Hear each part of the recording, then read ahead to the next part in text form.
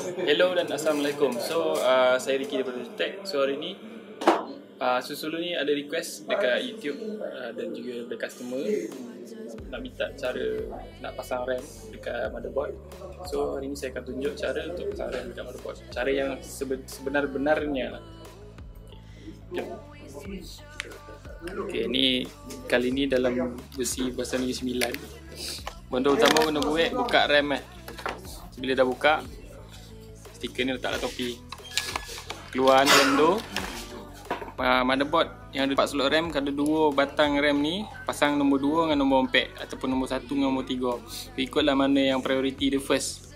Lepas tu RAM ni ada dia ada lokok dekat sini ha. Lokok dia tu Pastikan sekali dengan dengan slot yang nak dimasukkan tu. Tu kalau macam ni lah. Ha, Lepas tu MSI yang bawah ni pun boleh buka. Gigabyte Asus bawah ni tak boleh buka certain board lah. Ha, okay. tu masuk je. Masuk je tu ha. tu belum rapat lagi tu. Pastikan yang belah sini ada tokan. Tokan belah bawah ni dulu. Ok dah bunyi klik sekali. Tokan belah atas pula. Ha macam tu je. Senang je pasang RAM ok tu je lah. Kalau nak tengok tutorial video PC macam ni lagi, like kami sekarang.